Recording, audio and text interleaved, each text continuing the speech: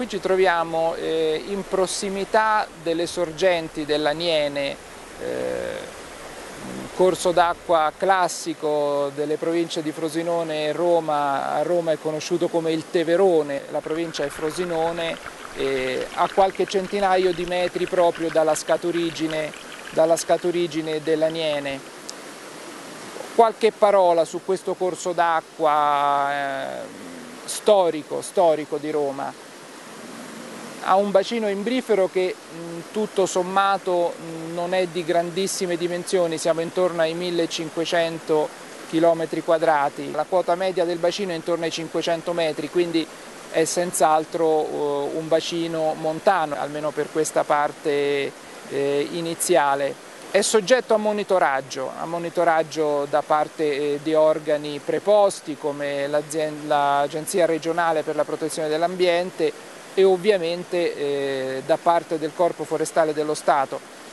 Al momento possiamo dire che per questa parte alta abbiamo um, uno stato del corso d'acqua discreto, buono, abbastanza buono, viene valutato con dei macro descrittori, appunto con degli indici specifici, tanto per fare qualche sigla, l'EBI, il SECA, eh, eh, che, vengono, che vengono calcolati a seguito di prelievi, e misurazioni e monitoraggi anche in continuo. Qui abbiamo eh, specie che appunto ci indicano condizioni mh, direi decorose, ci sono mh, gamberi di fiume, eh, in alcuni punti anche gamberi di fiume nostrani, quindi non eh, la specie americana.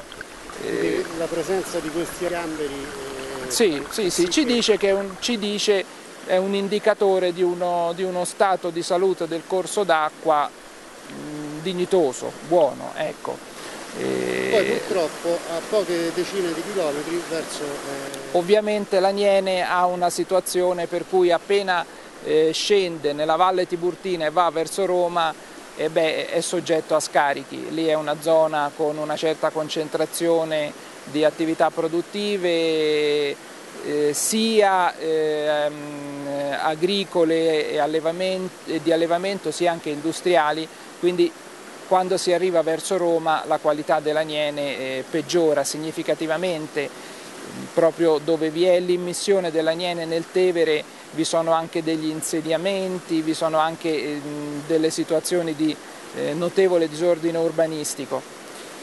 Ovviamente il Corpo Forestale eh, vigila quotidianamente su questo, no? Mm, adesso vi è una legge eh, che riordina il corpo, una legge del 2004, la numero 36, che stabilisce dei compiti precisi e con riferimento alle risorse idriche questi compiti precisi eh, comprendono sia la tutela qualitativa, quindi eh, possibilità di fare prelievi in proprio, ehm, agire come polizia sia amministrativa che penale, e, e eh, questa stessa legge prevede anche un concorso alla tutela quantitativa della risorsa, il che significa il controllo sulle captazioni e sulle opere in alveo.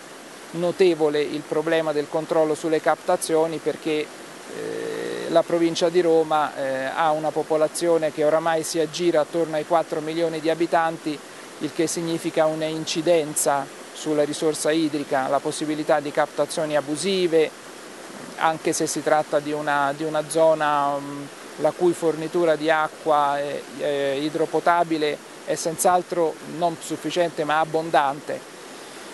Quindi vi è un controllo continuo, vi è un'attività da parte del corpo direi notevole eh, con le risorse di personale di mezzi che il corpo ha eh, e qui nella, nella zona dell'Aniene senz'altro questo è abbastanza sensibile.